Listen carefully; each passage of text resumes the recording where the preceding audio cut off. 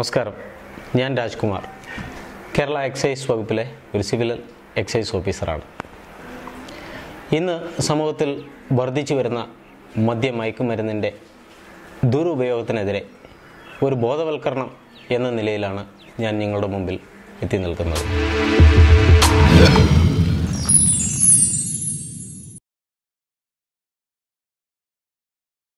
മനുഷ്യന് ഈശ്വരൻ നൽകിയിരിക്കുന്ന ആയസ് എന്നത് നൂറ്റി ഇരുപത് വർഷമാണ്. ഇന്നാരും നൂറ്റി ഇരുപത് വർഷം വരെ ജീവിക്കുന്നതായി നാം കാണുന്നില്ല. എന്താണ് അതിന് കാരണം? മനുഷ്യൻ നൂറ്റി ഇരുപത് വയസ്സ് വരെ ആയുസ് നൽകി എന്നെ ജീവിച്ചു കൊള്ളാനായി ഈ ഭൂമിയിലേക്ക് അയച്ചിരിക്കുന്നു. പക്ഷേ ഞാൻ നൂറ്റി ഇരുപത് വയസ്സ് വരെ ജീവിക്കാതെ അമ്പതിലും അറുപതിലും എഴുപതിലുമെല്ലാം ഈ ഭൂമിയിൽ നിന്നും വിട പറഞ്ഞു പോവുകയാണ്. എന്താണ് അതിന്റെ കാരണം? മനുഷ്യന്റെ ജീവിതചര്യയിലുണ്ടായ മാറ്റമാണ്. അതിലൊന്നിനെക്കുറിച്ചാണ് നാം ഇന്ന് ചർച്ച ചെയ്യാൻ പോകുന്നത്. ലഹരി എന്ന വിപത്ത്. ലഹരി എന്ന പദത്തിന്റെ വ്യാപ്തി വളരെ വലുതാണ്. ഒരുവന് ഈശ്വരനോടുള്ള അതിയായ പ്രേമത്തിനെ ഈശ്വരനോടുള്ള ലഹരി എന്ന് പറയാം. ഭക്ഷണം കഴിക്കാനുള്ള അതിയായ സ്നേഹത്തിനെ ഭക്ഷണത്തിനോടുള്ള ലഹരി എന്ന് പറയാം. പക്ഷേ നാം ഇന്ന് ചർച്ച ചെയ്യാൻ പോകുന്നത് ലഭിക്കും തോറും വീണ്ടും വേണമെന്ന തോന്നൽ ഉളവാക്കുന്ന അനുഭൂതി ഉളവാക്കുന്ന മനുഷ്യന്റെ മാനസിക ശാരീരിക അവസ്ഥകളെ മാറ്റി ഉന്മാദത്തിലാക്കുന്ന ചില വസ്തുക്കളെ ലഹരി എന്ന് പരിചയപ്പെടാം. അതിലൊന്നാണ് സിഗരറ്റ് അല്ലെങ്കിൽ പുകവലി എന്നത്. പുകയില എന്ന് പറയുന്ന ഒരു ചെടിയുടെ വിവിധങ്ങളായ പ്രൊഡക്ട്സുകളാണ് സിഗരറ്റ് ഹുക്ക മൂക്കുപ്പൊടി മുറുക്ക് പാൻ മസാല തുടങ്ങിയവ. സിഗരറ്റിൽ അടങ്ങിയിരിക്കുന്ന ഒരു രാസവസ്തുവാണ് നിക്കോട്ടിൻ എന്ന് പറയുന്നത്. അരത്തുള്ളി ഗാഢലായനി മതി ഒരാളെ മരണത്തിലേക്ക് തള്ളിവിടുവാനായി. പുക വലിക്കുമ്പോൾ ഏതാണ്ട് അമ്പതിലധികം വിഷവാതകങ്ങൾ ഈ പുകയിൽ നിന്നും ഉണ്ടാകുന്നു. ഈ വിഷവാതകങ്ങൾ നേരെ ശ്വാസകോശത്തിലേക്ക് ചെല്ലുന്നു. ശ്വാസകോശത്തിൽ ചെന്ന് ശ്വാസകോശത്തിൽ വെച്ച് ബ്രോങ്കിയോൾ എന്ന അവയവത്തിൽ വെച്ച് അവ രക്തത്തിൽ കലർന്ന് രക്തത്തിലൂടെ എല്ലാ ജീവകലകളിലും ജീവകോശങ്ങളിലേക്കും വ്യാപിക്കുന്നു. പുകവലിക്കുമ്പോൾ എന്ത് സംഭവിക്കുന്നു എന്ന് നമുക്ക് നോക്കാം. ഈ കാണുന്നതാണ് ഒരു മനുഷ്യന്റെ ശ്വാസകോശം. ജീവിതത്തിൽ ഒരിക്കൽ പോലും പുകവലിച്ചിട്ടില്ലാത്ത ഒരാളുടെ ശ്വാസകോശമാണ് ഈ കാണുന്നത്. പ്രാണവായു അകത്തേക്ക് വരുമ്പോൾ ഇതുപോലെ വികസിക്കുകയും മസിൽസിന്റെ ആക്ഷൻ കൊണ്ട് സങ്കോചിക്കുകയും ചെയ്യുന്നു. അവിടെ വെച്ച് പ്രാണവായു രക്തത്തിലേക്ക് കലർന്ന് ആവശ്യമായ ജീവകോശങ്ങളിലേക്ക് പോകുന്നു. ഒരിക്കൽ പോലും പുകവലിച്ചിട്ടില്ലാത്ത ഒരു ആളുടെ ശ്വാസകോശത്തിൽ കൃത്രിമമായിട്ട് ഒരു സിഗരറ്റ് കത്തിച്ച് വെച്ച് ശാസ്ത്രജ്ഞന്മാർ ഒരു പരീക്ഷണം നടത്തുകയാണ്. ഒരാൾ പുകവലിച്ചാൽ എങ്ങനെ ഇരിക്കും? എന്താണ് അതിന്റെ ഭവിഷ്യത്ത് എന്നത് കാണിക്കാൻ വേണ്ടിയിട്ടുള്ള ഒരു പരീക്ഷണമാണ് ഈ നടത്തുന്നത്. ഇപ്രകാരം ഒരു അറുപത് സിഗരറ്റ് കത്തിച്ച് വെച്ചിട്ടുള്ള ഒരു പരീക്ഷണമാണ് ശാസ്ത്രജ്ഞന്മാർ നടത്തിയത്. അതിനുശേഷം ആ ശ്വാസകോശത്തിന്റെ ഘടനയിലും നിറത്തിലും ഉണ്ടായ വ്യത്യാസങ്ങളാണ് നാം ഇപ്പോൾ കണ്ടുകൊണ്ടിരിക്കുന്നത്.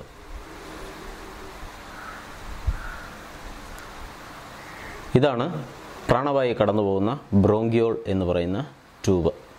പുക വലിച്ചിട്ടില്ലാത്ത ഒരാളുടെ ബ്രോങ്കിയോൾ ട്യൂബ് ഇപ്രകാരം വൃത്തിയുള്ളതായിരിക്കും.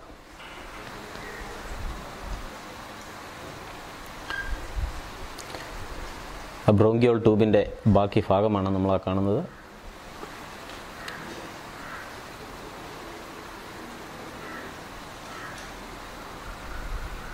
പരീക്ഷണത്തിന് വേണ്ടിയിട്ട് ആ ഹോസ് കണക്ട് ചെയ്തിരുന്ന ഭാഗമാണ് ആ കണ്ടത്.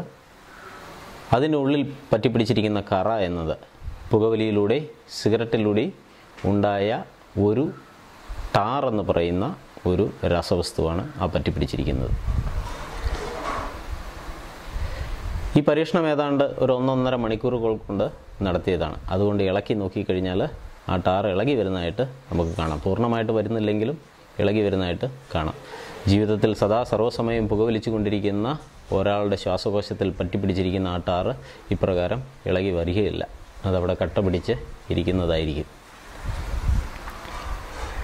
ഇത് ബ്രോങ്കിയോൾ ട്യൂബിൽ മാത്രമല്ല അതിന്റെ ഉള്ളിലുള്ള അതിസൂക്ഷ്മമായ കുഴലുകളിലുമെല്ലാം കറ പറ്റി പിടിച്ചിരിക്കുന്നത് നമുക്കിവിടെ കാണാനായിട്ട് സാധിക്കും.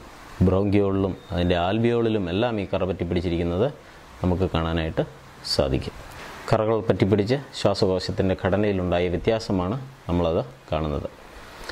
ഈ കാണുന്നത് പുക വലിച്ചിട്ടില്ലാത്ത ഒരാളുടെ ഒരു ശ്വാസകോശവും അടുത്തത് ഈ പരീക്ഷണത്തിന് വിധേയമാക്കിയ ശ്വാസകോശമാണ്. അതിന്റെ നിറത്തിലുണ്ടായ വ്യത്യാസങ്ങളും സൈസിലുണ്ടായ വ്യത്യാസങ്ങളും എല്ലാം നമുക്കവിടെ തിരിച്ചറിയാനായിട്ട് കഴിയുന്നു.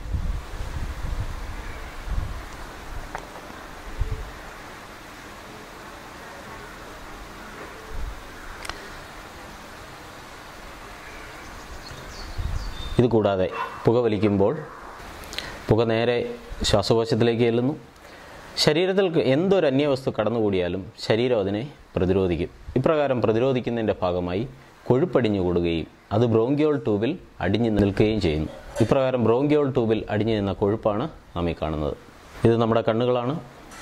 കണ്ണിന്റെ ഉള്ളിലെ അതിസൂക്ഷ്മമായ രക്തക്കുഴലുകളാണ് നാം ഈ കാണുന്നത്. കാർബണിക സംയുക്തങ്ങൾ രക്തത്തിൽ അടിഞ്ഞുകൂടി അവിടെ രക്തസമ്മർദ്ദമുണ്ടായി. രക്തക്കുഴലുകൾ പൊട്ടി രക്തസ്രാവം ഉണ്ടാകുന്നു. ഇത് നമ്മുടെ തലച്ചോറാണ്.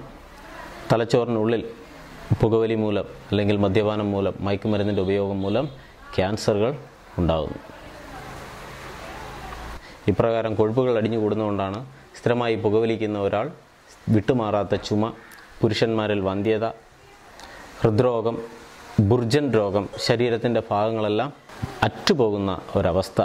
ഇതുപോലെ വ്യത്യസ്തങ്ങളായ രോഗങ്ങൾ ചുണ്ടിൽ ക്യാൻസർ മൂക്കിൽ ക്യാൻസർ നാക്കിൽ ക്യാൻസർ തൊണ്ടയിൽ ക്യാൻസർ ഇതുപോലുള്ള അനവധി പ്രശ്നങ്ങൾ. ഞാൻ ഉറച്ച തീരുമാനമെടുക്കുകയാണ്. ഞാൻ എന്റെ ജീവിതത്തിൽ ഒരിക്കലും പുകവലിക്കുകയില്ല. ഞാൻ എന്റെ ജീവിതത്തിൽ ഒരിക്കലും മദ്യപിക്കുകയില്ല. ഞാൻ എന്റെ ജീവിതത്തിൽ ഒരിക്കലും മയക്കുമരുന്നുകൾ ഉപയോഗിക്കുകയില്ല എന്ന് ഉറച്ച തീരുമാനമെടുത്തുകൊണ്ട് നമുക്ക് മുന്നേറാം. അടുത്ത ഒരു എപ്പിസോഡിൽ കൂടുതൽ വിവരങ്ങളും കൂടുതൽ അറിവുകളുമായി ഞാൻ വീണ്ടും എത്തും. രാജ്കുമാർ ജയ് ഹിന്ദ്.